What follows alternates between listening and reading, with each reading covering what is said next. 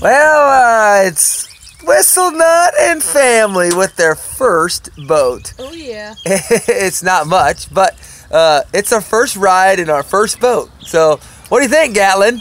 Good. Good. Are you manning the uh, the helm there? Yeah. They Yeah. Call me Captain Ike, right?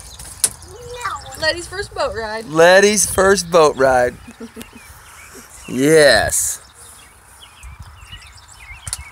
I'm getting.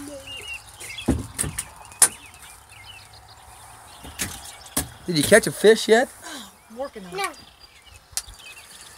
I tell you, the reason we're sitting out here on this boat is because um, they canceled a rodeo. It's the first time in history that they've ever canceled a rodeo, but we've had like five, six days of rain here in Iowa, and the rodeo arena is literally underwater. So we took this time to enjoy and heal Whistle Nut. I tell you, I took a pretty good spill the other day, and um, it wasn't really a spill, but I just took a. I think we need to we don't have a motor on this bad boy, so I gotta use this. Did you catch a fish yet? No.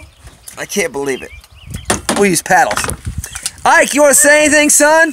Huh? You want to say anything to the camera? No. No. It's for there. All right, well, we're just enjoying it. This is our first boat ride and our first boat.